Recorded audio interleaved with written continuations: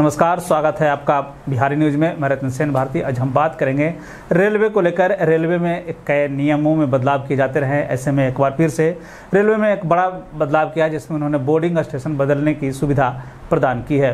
Corona की दूसरी लहर में आ रही कमी के बाद से अब एक बार फिर से रेलवे का परिचालन शुरू किया गया है। ऐसे में अब रेलवे ने यात्रियों की सुविधा को ध्यान में रखते हुए कई नए अपडेट जारी किए हैं। जारी अपडेट में रेलवे ने एक बड़ी बात कही है, जिसमें उन्होंने कहा है कि अगर कोई भी यात्री रेलवे से सफ़र करना चाहते हैं तो वे मूल स्टेशन पर नहीं हैं और किसी और स्टेशन पर हैं तो वे मूल स्टेशन में बदलाव कर सकते हैं। रेलवे की तरफ़ से जारी अपडेट में कहा गया है कि वे मूल स्टेशन के अलावा दूसरे स्टेशन से भी ट्रेन को पकड़ सकते हैं। या फिर वहाँ से यात्रा की शुरुआत कर सकते हैं। रेलवे ने यात्रियों की सुविधा को ध्यान में रखते हुए कहा है कि कई बार अचानक से बोर्डिंग स्टेशन बदलने की ज़रूरत पड़ जाती है।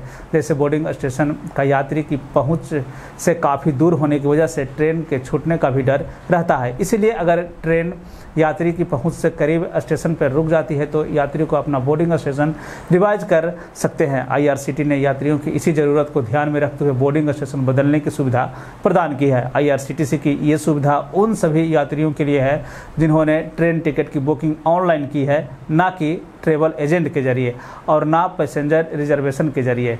इसके अलावा बोर्डिंग स्टेशन में बदलाव V I K A L P option के पी एन आर एस में नहीं किया जा सकता। रेलवे ने यह भी बताया है कि जो भी यात्री अपना बोर्डिंग स्टेशन में बदलाव करना चाहते हैं, उन्हें ट्रेन छूटने के 24 घंटे पहले ऑनलाइन बदलाव करना होगा। लेकिन मुसाफिरों को आईआरसीटीसी की आधिकारिक वेबसाइट के अनुसार, यात्री अगर एक बार अपना बोर्डिंग स्टेशन बदल लेते हैं तो वो ओरिजिनल स्टेशन पर नहीं पकड़ सकते हैं। याद रखें कि अगर यात्री बोर्डिंग स्टेशन से बिना बदलाव किए दूसरे स्टेशन से ट्रेन पकड़ते हैं तो उसे प्लांटी के साथ साथ बोर्डिंग पॉइंट और रिवाइज बोर्डिंग स्टेशन से ट्रेन नहीं पकड़ सकते हैं। याद रखें कि अगर यात्री बोर्डिंग स्टेशन से बिना बदलाव के दूसरे स्टेशन से ट्रेन पकड़ते हैं तो उन्हें प्लांटी के साथ साथ बोर्डिंग पॉइंट से रिवाइज बोर्डिंग पॉइंट के बीच किराए का अंतर भी देना होगा। आईआरसीटीसी के नियमों के अनुसार बोर्डिंग स्टेशन में बदलाव सिर्फ़ एक बार किया जा सकता है।